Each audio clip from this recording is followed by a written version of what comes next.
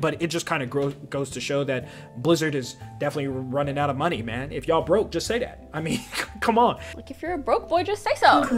You get the bag and fumble it, I get the bag and flip it and tumble it. Well, boys and girls, it's another year, another winter wonderland on Overwatch. But unlike the last time I played, there's a battle pass now. No more loot boxes teasing you and enticing you to play hours upon hours and hours of the game, or just, you know, spending enough money getting premium currency or possibly getting the skin you want while pulling loot boxes. No, no, no, no, no, no, no, no. We don't do that no more. Uh-uh. Now, we just grab our mom's credit card directly and just pay for the skin we want. And then grind the battle pass. But let's see what kind of skins we got this year. Look at oh hold on that's my shadow play. Look at look at how beautiful this is. Just you can feel the magic of Christmas time. We absolutely love it, man. We love it. All right, so let's go ahead and take a look. Uh, there's a Winter Wonderland event. Um, it, I guess it's supposed to be a theme park. Um, earn tickets every nine games. So every nine games that you play, uh, obviously if it's free, you get 10, 20, 30, 40. Uh, nine games, nine games. That's a lot. That's a lot of games for 40, 40 tickets. And for 40 tickets, you can get, you can't even get a skin. So imagine, yikes. That's actually a lot of games. now, I wonder if this counts towards arcade or if this counts towards only playing quick play. Um, so there's definitely no way you're getting all the skins. I already have these from Overwatch 1, so obviously I get those. Um, this one seems pretty cool. The Wrapping Paper Reinhardt seems dope.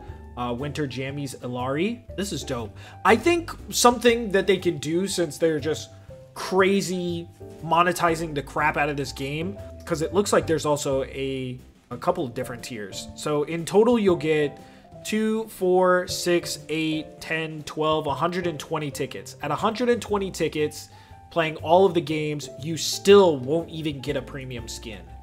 So, you'll get the formal wear, you'll get the 91, so you'll get an epic skin. This one's an epic skin. Yeah, you won't get this Reinhardt one. Uh, you can get Illari, but you won't get Reinhardt, so you actually have to pay for something.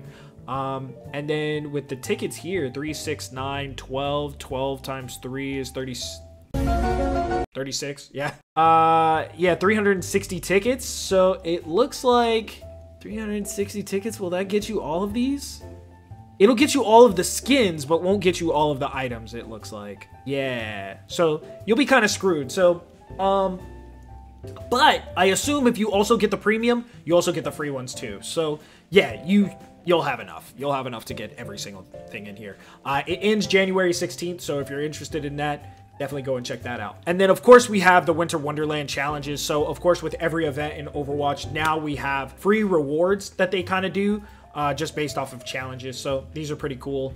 Um, they help you towards I mentioned it earlier, they help you towards the Battle Pass. Um, honestly, this has been my least favorite thing that has been added into Overwatch. Um, I don't know, maybe it works for them, but uh, it just it just doesn't do it for me. Um, so let's go over the skins first. Um, Junker Queen is your first major cap here uh, if you reach milestone 20, which actually I think there's one more. Um, Mauga is part of the premium, so we're just going to go over the free stuff for now. Um, you get this ham skin, which I think is pretty cool. It's pretty interesting. Now, keep in mind, the Battle Pass is not a winter Battle Pass. I want to be very clear about that. The Battle Pass is not a winter Battle Pass. There are no winter items in here. I know the Battle Pass that we just came off of had Halloween stuff in it, this one is Battle of the Beast. This is for specifically the release of Malga, or Mauga, excuse me. Uh, this is specifically for his release. Um, so there's going to be a lot of tank items in here. So if you're a tank player, we're, we're eating good, baby. We're eating good. The next major skin that you're going to get is the Hazmat Reaper skin. I'm not going to lie. This, this is fire. This is absolute fire. Is it enough for me to pay $20 for a battle pass? I don't know about that. I, I, definitely don't know about that. We got some free voice lines for Ramatra, Ham. Um, what is this? Exospine. Is this supposed to be a Cyberpunk 2077 Netrunners thing. It's a souvenir, so it goes on your weapon. Okay, cool. Um, guess. Uh, let's see. Next milestone, you get Lucio, which honestly, this skin is a little strange. It's a graffiti skin. Uh, it's kind of comparable to Sombra's old graffiti skin, so this is this is very interesting. Um, sorry, not Sombra, Tracer. Wow, I haven't played this game in so long. Jeez. Uh, and then of course, if you're playing for free, you get Mauga at level 45. Whoop-de, whoop-de-doo. Um, I do like how the Battle Pass does give you this character for free um, until next season. At the end of this season, so in 54 days as of this recording, in 54 days when the new Battle Pass starts, you are able to do the challenges in order to get this character absolutely free if you don't play that much. But either way, it looks like you're playing the game. Um, then that leads us to this new Junkrat skin, which is kind of crazy looking. The Sawtooth Trapper. Wow. This is a this is a good looking skin, man. I like how he has the trap on his head. That's that's dope. I I like I really like that. Um then of course you got some Sojourn stuff. That's cool. Um Mauga sprays. Like it, like it, like it, like it a lot. This Mauga skin is crazy looking. I love it. I love it. Lore wise, I'm sure there's like a whole thing for this, but I mean, you know, we'll never really know because they don't make Overwatch cinematics anymore. So. and then next you'll have Zenyatta, the Beast Whisperer Zenyatta. This is actually really cool. This is kind of like witch doctory. I really, really dig this one, man. I, I, I absolutely love this.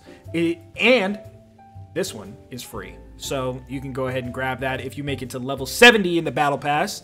Um, and it also comes with a cool voice line. Now, the big kind of main one, Battle of the Beast, is, is centered around Mauga and Orisa's new Mythic, which is the level 80 cap. Um, this honestly just looks like the bug skin, the beetle skin that she already has. But this one obviously has smoke coming off of it. Uh, there's a couple other major details. The gun is looking kind of crazy. But honestly, you know, it's just another it's just another skin. Now, if you're an Orisa player, which you kind of have to be if you're a meta player or uh, if you're playing tank and not really enjoying the game, yeah, you kind of have to play this. But let me know which skin you guys are most excited for, man. Obviously, every 10 levels getting a skin is is cool and everything, but I mean, some of them being premium, some of them being free. It's very freemium friendly. Uh, not a huge fan, man. Not a huge fan of it. But, I mean, you know, it's another thing.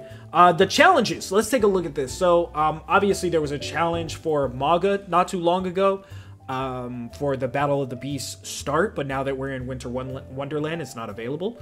Uh, so that will be coming next season. I have a couple of uh, ones to fill out myself. I still don't have Lifeweaver, which I don't really play support that often unless I'm playing Ana or Mercy, so it's really like kind of pointless to me.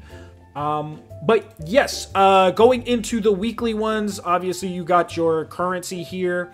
One thing that I really, really would like to see them change in Overwatch is re-adding premium currency. I know a lot of like the early build of Overwatch 2, they had um, free currency, they had premium currency, and then they had battle pass currency, um, which honestly made the game very. I mean, it was good because as you go through the battle pass, you get all of them.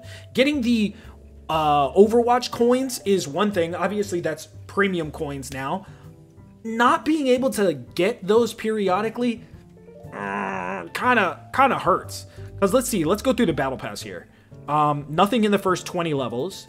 In the next 30 levels, no no premium coins whatsoever.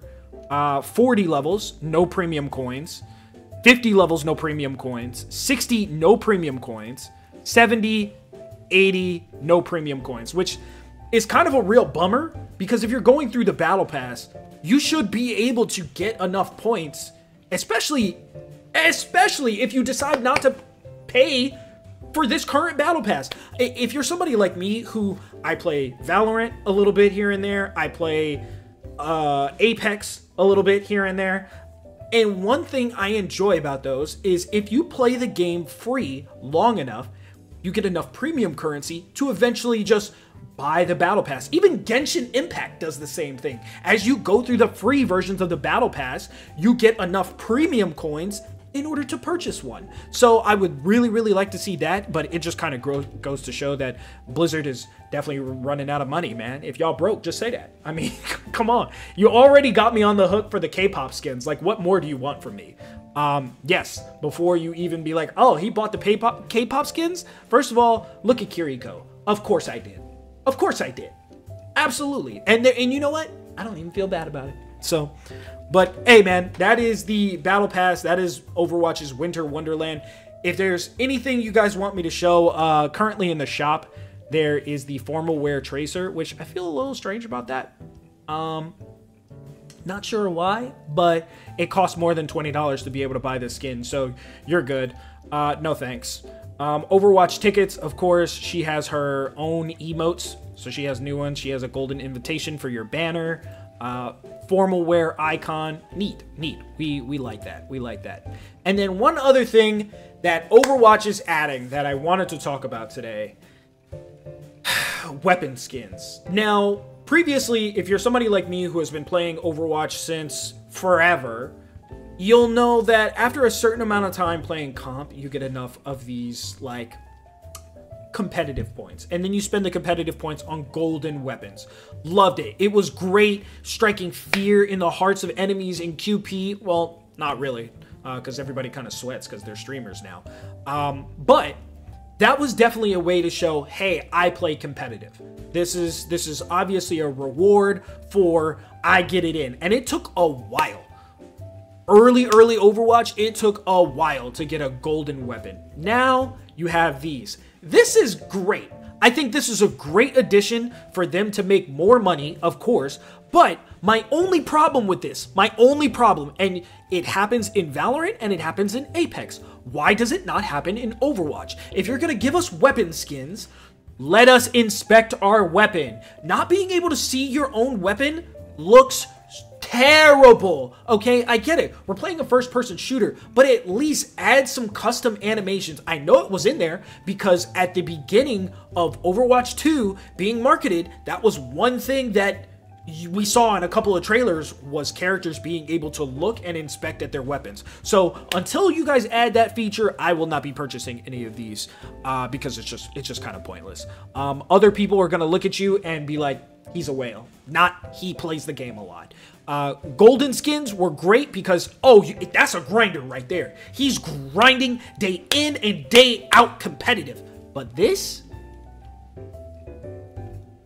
he took his mom's credit card. so, uh, of course, we have all of the ticket skins, so you can get all of those. Formal wear, wear Sojourn is available, and then for me, there's a bunch of different bundles here. These are kind of cool, I guess. Um, I mostly play tank, so this is showing just for you stuff. So this is like the FYP off of TikTok. This is the FYP skin section. So uh, yeah, if you're looking for some of these to pick up a couple of these skins because you're a collector, Sentai Genji is in here, a new Pharah, uh, the new tagged tracer. This is kind of interesting. I don't know why they went with this. And uh, Varsity D.Va, which I, I would want to pick this up, definitely, but I'm not about to spend the money for it, that's for sure. Uh, so there's some great skins in a couple of these packs. Guys, let me know if any of these interest you. Personally, I'm not spending any more money on Overwatch. Uh, I don't think this game deserves any of my money, to be honest. I'm just going to keep playing it and keep suffering and keep complaining about it. But hey, let me know from all the skins that we saw today, let me know down in the comment section, what was your favorite, man? And if you're new to the channel, make sure to hit subscribe because Hey, look, uh, I, I need I need the subs, man. I'm trying to hit 10k soon. Uh, your boy is back making regular content on a regular basis. Uh, like today's video, subscribe to the channel, all that good stuff. Uh, if you want to check out my last video, which anime games are getting a little wild, man. I got a video right here you should check out. Not only are they getting a little wild, they're getting a little scammy. So we talk about the newest one in, in this video right here. Make sure you guys go ahead and click that. I'll see you guys on the next one.